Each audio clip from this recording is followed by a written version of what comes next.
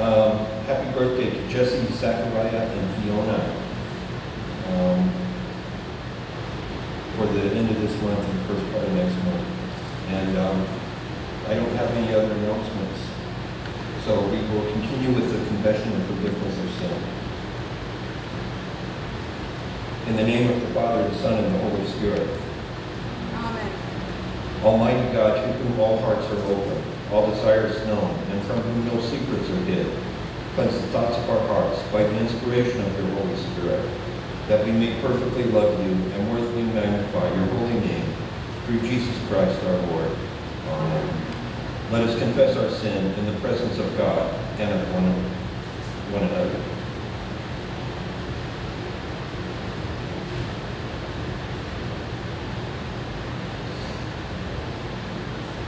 Most merciful God, we confess that we are captive to sin and cannot free ourselves. We have sinned against you in thought, word, and deed, by what we have done and by what we have left undone. We have not loved you with our whole heart. We have not loved our neighbors as ourselves. For the sake of your Son, Jesus Christ, have mercy on us.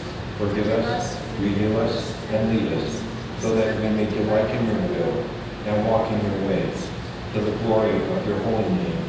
Amen. God who is rich in mercy loved us. God who is rich in mercy loved us even when we were dead in sin and made us alive together with Christ. By grace you have been saved. In the name of Jesus Christ, your sins are forgiven. Almighty God strengthen you with power through the Holy Spirit, that Christ may live in your hearts through faith. Amen. And our opening hymn is up on the board. Uh, in the book, it's number 618, and all the music Pastor Kim recorded. So all the music will be played on the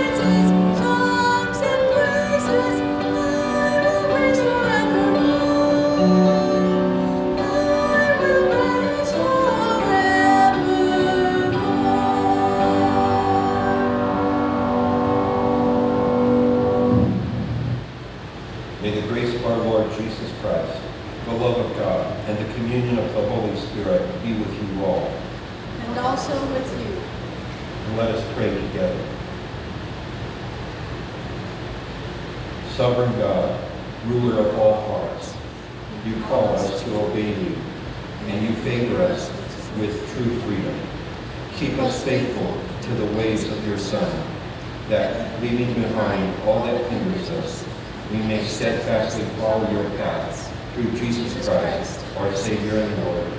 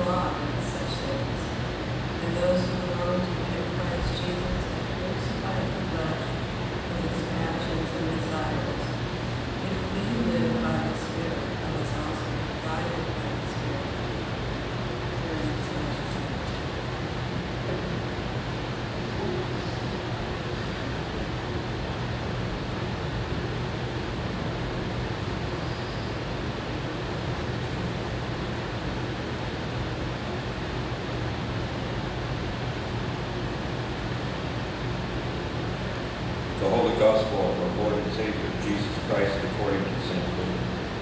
Glory to you, O Lord.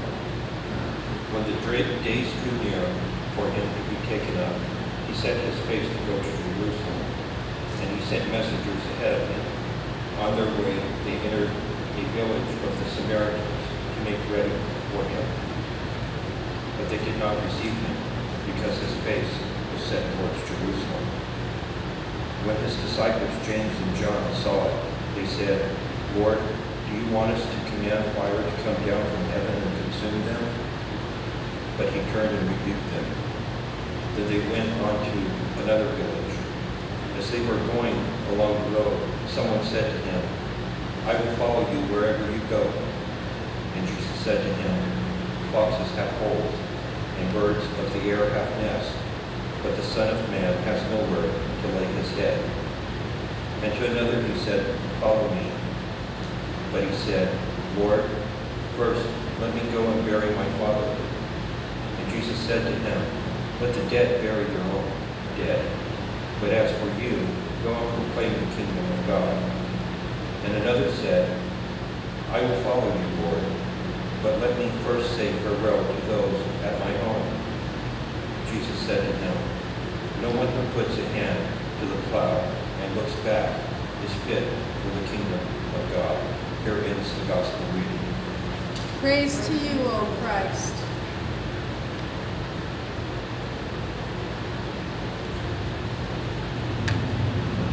I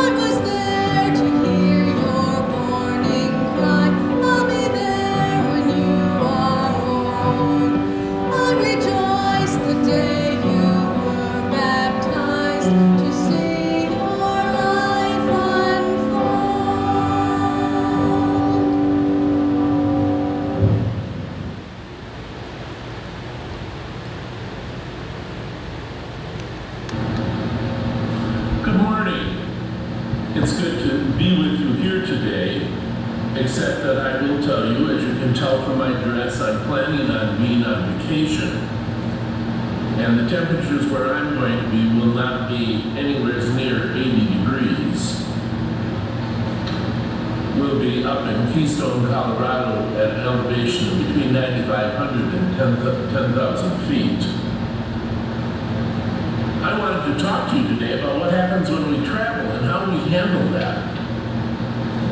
You know, at our house right now, we have our four boys getting ready, and we have um, our grandson Caleb getting ready to go, and Melody and I, and we're all packing suitcases, and we're thinking, well, partway up to where we're going to be staying, it's going to be hot. But once we get north of Santa Fe up in the mountains, the temperatures are going to come down. So let's think about all the things we need to bring with us. I probably need some warm socks. I need long sweatpants for evenings and at night. Um, long sleeve jacket and a sweater or a sweatshirt to go under it. And then I have to have my light clothing like what I'm wearing right here today. And shorts. And then, like we all usually do, we'll pack way more than we need to have with us. Jesse came to me this morning and he said, Dad, how many days do I have to pack for it? I said, well, we're going to be away 10 days. But you can wear your travel clothes two times. And you will need some warm clothing and you'll need some cool clothing. You'll need a swimsuit. We'll have the opportunity to swim. They all think that at 10,000 feet there's going to be a swimming pool at the resort that's going to be warm. Uh, that's just not the case, and perhaps we'll go down to Dillon and find a lake that they can jump into that's about 55 degrees, so they can uh, be reminded of what it was like when Melody and I began swimming in May and June in Lake Michigan when we were their age. So we drag all these suitcases with us for seven people. We'll carry plenty of food and a couple of coolers, cold water, uh, so we have plenty of water to drink. We've been getting work done on the van to get ready to travel in the mountains. And so we think we're ready. But suspect we're going to find out when we have taken this trip that we have packed way too much stuff. For instance, I always like to take a bottle of white wine, a bottle of red wine, and a bottle of champagne. And usually we drink one of those while we're on vacation, and I end up having to carry it home in the van. It's something that we usually overpack for, along with all the clothes and things. We'll bring games for the boys, and whether or not we'll get them to play them will be a whole other story, but we have a couple of favorites. We really love Uno. We have a double card deck of that that we really enjoy playing together, and then we have um, a, a dice game called Spinners, which was introduced to our family by Shirley Huntley um, quite a while ago. Jeremiah's family has a box of it, we have one, and uh, usually we travel with at least one set of those with us, so we have time to play. So other things in our lives also are kind of like our luggage. We start a journey at our baptisms, a journey of faith, a journey of growth and learning. And along the way, we pick up all kinds of extra things, things that don't necessarily help us in our journey of faith. You know, the, the very traditional one is, is the Christmas Carol, where Marley comes to show Scrooge all of the luggage and, and burdens he's carried with him in his life he now has to drag through eternity because he never learned how to give away what was most important to him, which was his wealth. But we have that same kind of luggage, and I hope we come to church so that we come to understand what things we ought to be working to let go of, the luggage that we overpacked in and, and they are things we just don't need. Uh, in our gospel reading from Luke today, Jesus makes it pretty clear. He, he tells the people who want to follow him, well, I don't have any place to rest my head. You know, we're, we're itinerant, we're traveling around, we're under threat from the religious authorities, and then one who he heals wants to come with, and he says, no, instead of coming with me, go to your home and proclaim the good news of your healing and the love of God through me. It is, we all want to, to carry all this extra stuff with us. And we already have in our lives everything we need. We have the love of God through Jesus Christ. We have the wisdom of the Spirit as she guides our lives from day to day. We have overcome and become victorious through Jesus Christ over sin and death, and yes, the devil. Um, that was one of Martin Luther's favorite uh, phrases, that we have overcome death and the devil uh, from the 1500s when he wrote. Um, and everything else we bring with us, you know, if we come to church, a piece of baggage might be someone sitting in my pew.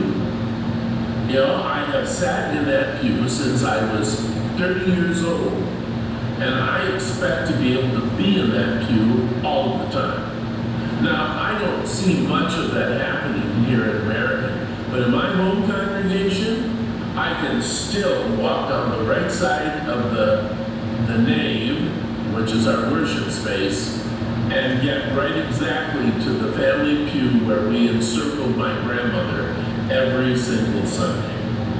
That was the Christensen pew, or pews, it was usually two. And we always sat there down the right-hand side of the sanctuary, about two-thirds of the way down. It, it made it kind of hard to, to move anyplace else because we had the baggage of that placement in the church. I was accustomed to looking at the pastor to the left when the pastor preached.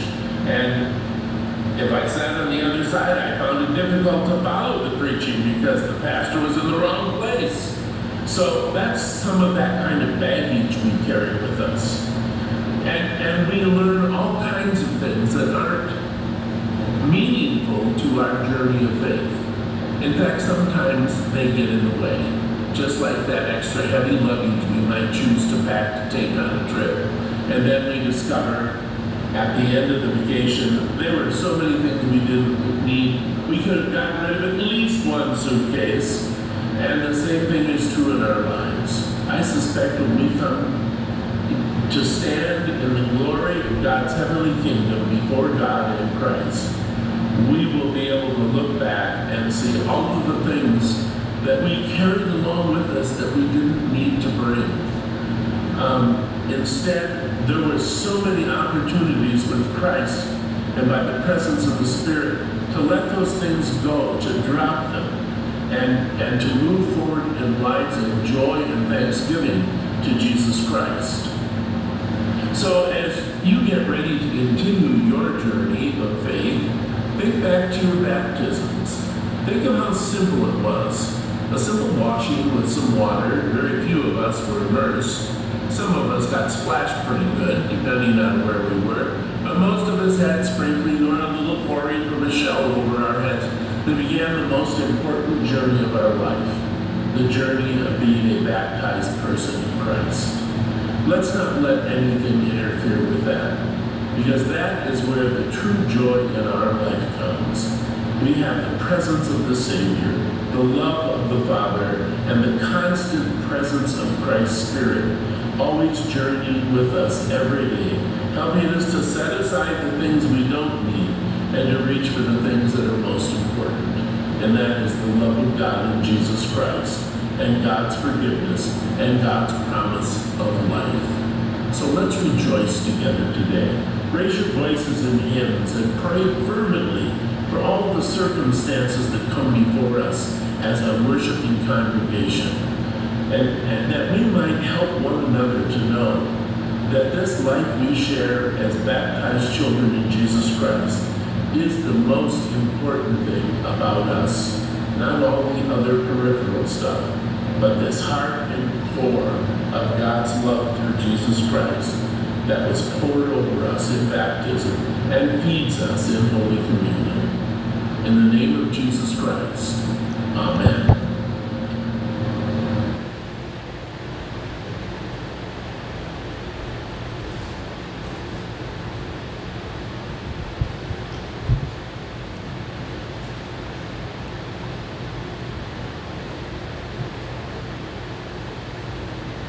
With the whole church, let us confess our faith.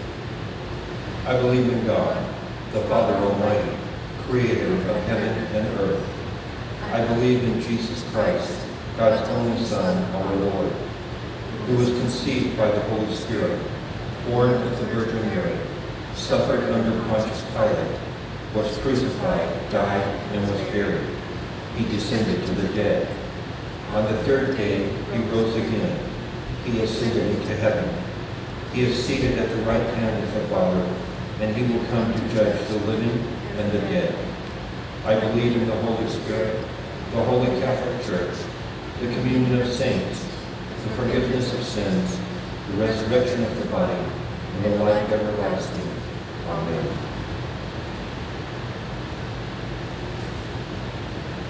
With the whole church, with the whole people of God in Christ Jesus, let us pray for the church, those in need, and all of God's creation.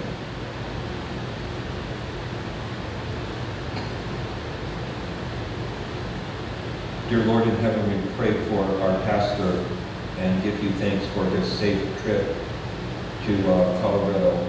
And we pray that you will bring him and his family back to us uh, next weekend safely. Hear us, O God. Your mercy is great. We pray for Candace and Lisa and the health issues that are they are going through. Um, we pray that you give them courage and strength to go through this to the end, whatever that end may be. Uh, please be with them, heal them, and comfort them. Hear us, O God. Your mercy is great. We pray for uh, David Beecham and his family. We pray for his business, and we pray for his health. And we pray also that you may strengthen him and, and strengthen his business and strengthen his legs and make him well. Hear us, O God. Your mercy is great. We pray for Jim Blair that you will uh, continue to guide him and comfort him and heal him as well. Hear us, O God. Mercy is great. We pray for Colleen Benson, who continues to be in critical care on life support.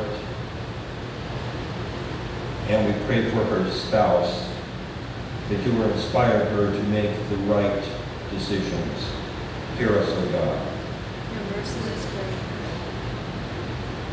We pray for the poor and the homeless, that you will provide for them, that you will comfort them, that you will give them hope to continue for another day. Hear us, O God. Your mercy is great. We pray for those all around the world who are prisoners, justly or unjustly. We pray that you will awaken them to your glory and to your way, and that you may truly bring them back to the right path. Hear us, O God. Your mercy is great.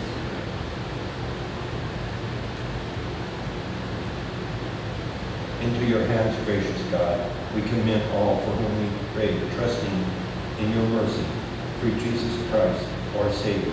Amen. May the peace of the Lord be with you. And also with you.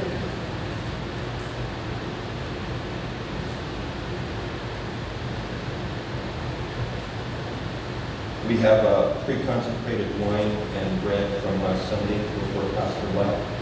So we'll continue now uh, with the communion. Gathered into one by the Holy Spirit, let us pray as Jesus taught us. Our Father, who art in heaven, hallowed be thy name. Your kingdom come, your will be done, on earth as it is in heaven. Give us today our daily bread, and forgive us our sins, as we forgive those who sin against us. Save us from the time of trial, and del- deliver us from evil. For the kingdom, the power, and the glory are yours, now and forever. Amen. And I know I read the wrong one. I started out okay, but then I got detoured over here. You know why? Because I was thinking about something, that's why. Yep, it happens. Especially when you're a senior citizen. And Debbie, just to let you know, that is my excuse from now on. I'm a senior citizen. Please be sure to sanitize your hands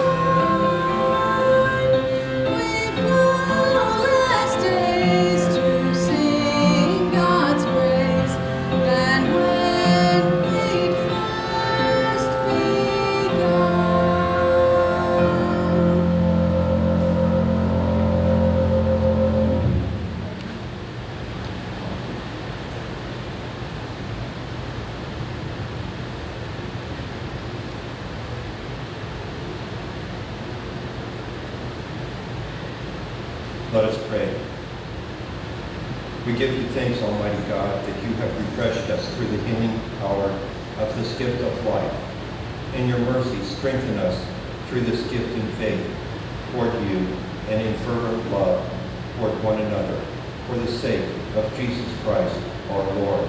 Amen.